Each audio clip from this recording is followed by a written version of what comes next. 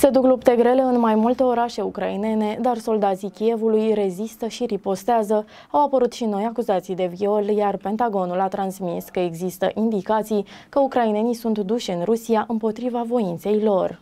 60 de oameni au fost uciși după ce rușii au bombardat o școală în Luhansk, informația fiind confirmată de președintele Ucrainei Volodymyr Zelensky. În același timp, Moscova a celebrat luni ziua victoriei. La Moscova, Vladimir Putin spunea în fața a mii de soldați ruși care mărșăluiau în piața roșie că armata sa luptă în Ucraina pentru a apăra patria în fața amenințării inacceptabile reprezentate de vecinul său. Președintele ucrainean Volodymyr Volodymyr Zelensky a invocat fantomele trecutului pentru a denunța invazia condusă de Moscova, afirmând că Ucraina este mândră de rolul său în înfrângerea nazismului. Nu vom lăsa pe nimeni să anexeze această victorie, să-și o însușească, a declarat el într-un mesaj video, mergând pe principala artera Kievului. De câteva luni, Vladimir Putin a încercat în mod constant să stabilească o legătură între invazia Ucrainei de către Rusia și evenimentele din timpul celui de-al doilea război mondial, calificând regimul de la Kiev drept neonazist.